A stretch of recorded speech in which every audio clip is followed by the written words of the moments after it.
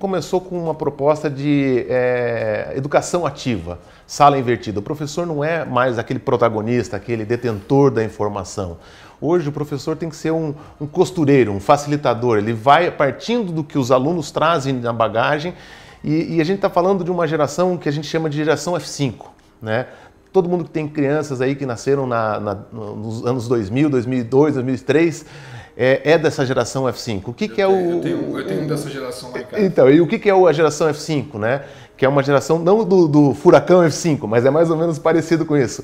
É uma geração que está full time na internet, conectado, ou seja, celular, ou seja, é uma geração que tem uma necessidade muito grande de absorção de informação, então eles a gente chama de feed, né, que é alimentando de informação, mas com esse universo de informações, eles têm um filtro muito apurado, né? O filter, eles vão lá e escolhem o que eles querem dentro desse universo. Quando eles acham o que eles querem, com esse filtro, eles focam naquilo até esgotar aquele assunto e aí eles passam para o último F, que é a flexibility. Uma hora eles estão aqui, outra hora eles querem outra coisa, outra hora eles querem outra coisa. E como lidar com essa criança, com essa geração, dentro de uma sala de aula no modelo de 1800?